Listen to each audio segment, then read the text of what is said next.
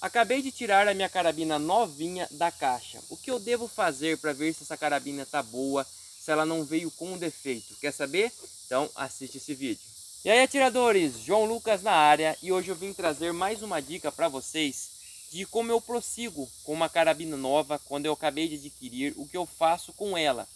O primeiro passo é observar a embalagem, se veio bem embalada, se a caixa não está danificada.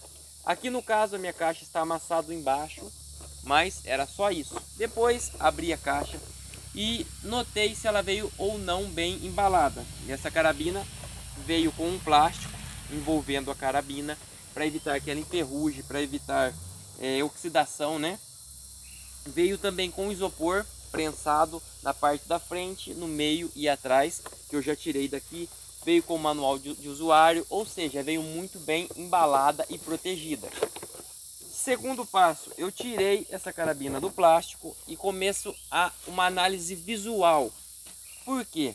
É, essa carabina pode ser de monstruário. Se você comprou ela e essa carabina veio empoeirada, com sinal de ferrugem, devolva ou peça um reembolso de parte do valor, pois você comprou ela como nova e não como um monstruário.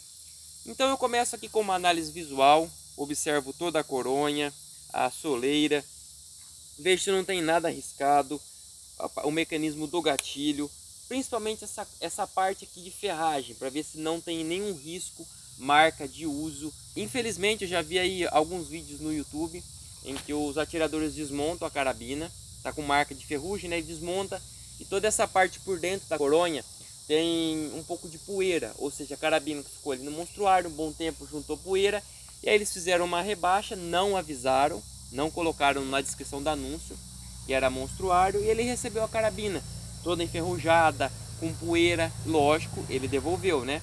Então essa carabina aqui veio muito bem embalada, veio bem protegida, e eu fiz análise visual, observei a coronha dela, o gatilho, não tem nenhum ferrugem. Observa aqui, alça e massa de mira.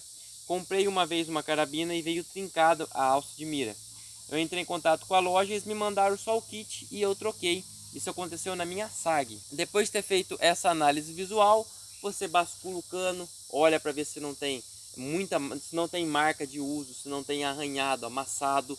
Observe bem no cano, olha pela lateral, veja se o cano não está desalinhado e aí você vai atirar com a sua carabina.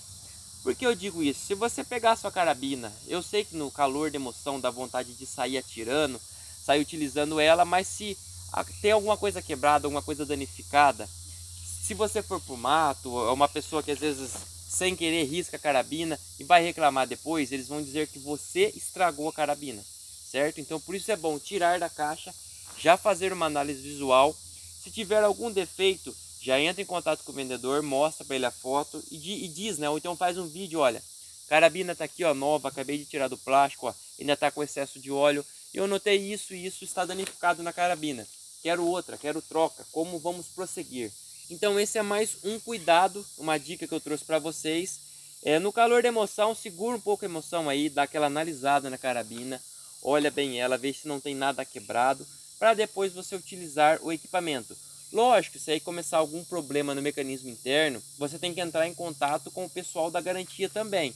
Mas uma análise visual sempre é bem-vinda e te resguarda de como essa carabina veio. Você pode dizer que foi problema da transportadora, às vezes a caixa está amassada, ou até mesmo a carabina veio com defeito de fábrica.